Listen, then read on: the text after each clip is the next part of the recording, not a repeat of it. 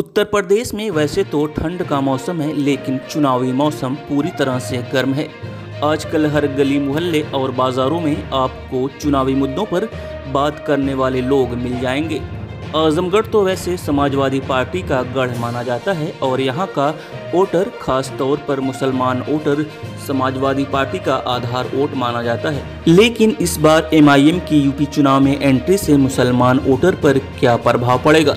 इसी बात को जानने व समझने के लिए हमने विधानसभा दीदारगंज में आने वाली तकरीबन 8000 वोटरों वाली ग्राम सभा फरिया में कुछ लोगों से बात की।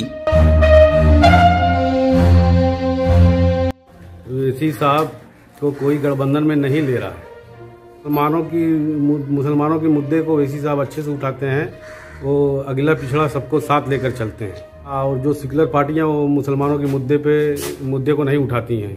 सिर्फ़ वैसी एक ऐसे नेता है जो मुसलमानों के मुद्दे पे बात करते हैं।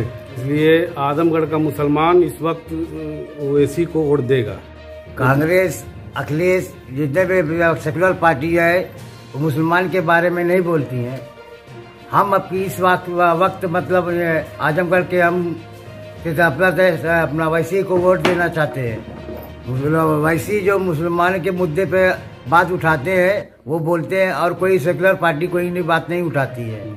हम इसलिए एमएम को पार्टी को वोट हम देना चाहेंगे देंगे। आजमगढ़ के मुसलमान पूरा मन बना लिया कि हम वैसी को, साहब को वोट हम देंगे। मन बना लिए अगर किसी पार्टी को अगर वोट चाहिए तो वैसी साहब को गठबंधन करें।